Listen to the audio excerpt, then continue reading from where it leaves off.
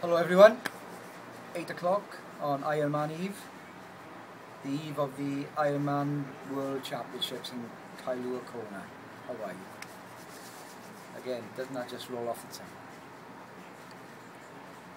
Right, tomorrow at 7am I am going to be I am, I am going to be doing a catered training day. That is my new word for Ironman a long training day with all your food and drink chucked in. Wonderful.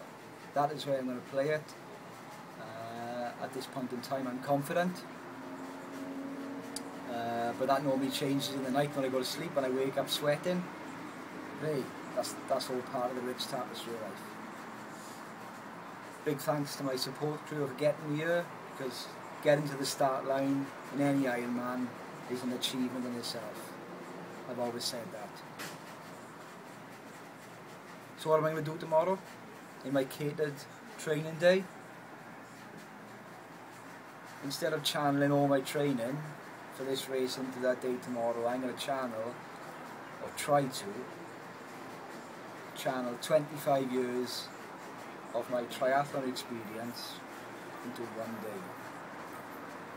And I'm going to try and be average at all three in an attempt to finish and win. I've said that to many people in the past. The average are all three, and I might stand by it. It's been reminded to me this week in uh, a lovely message, and uh, it certainly struck me right between the eyes. I've mentioned in a number of these blogs about the inspirational messages support um, on Facebook, text and email. I've got to read a couple of these out to you. Here we go. Running down that finish line with 100 metres to go, I want tears from you. Tears for all the sacrifices you have made. Tears for your family and mates. And most importantly, tears for Catherine. When your tears hit the floor, they will burn a stain forever. Another one. All of us who know what it means are so envious and proud that we know you. Another. I listen to every word you, you, you tell me as I trust and love you.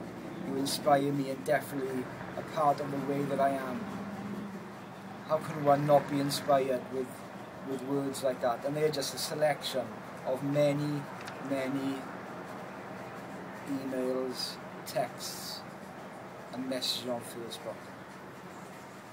So how can I repay that? I can repay that quite easily by delivering for you the finish tomorrow. That is the best way I can repay you. I can't think of words, I can't think of any words that I can use right now to answer those back. Uh, and those words are for champions, not average, middle of the middle of the road athletes. I've heard those words written about champions. But moving on, certain people inspire me.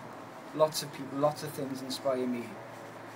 For example, I'm not in any order, my swim group, what a great bunch. South Wales Police Tri-Team. I have to mention Maxi, Evsy, Lottie, my big mate Dino, you know, the backbone of the club. In my Lanzarote days, there was, there is rather, many people there who, who have supported me through thick and thin. Graham, Sarah, the lovely Margaret who's no longer with us, who's no longer with us. Graham, I, I have to mention, I think of it all the time at times like this. You know what I'm talking about. Richard and Emma from Wakefield and their families, true stalwarts of, of support in me. And my good friend Liz Owen from Cardiff, she knows exactly what this means to me. You all do. So there we go.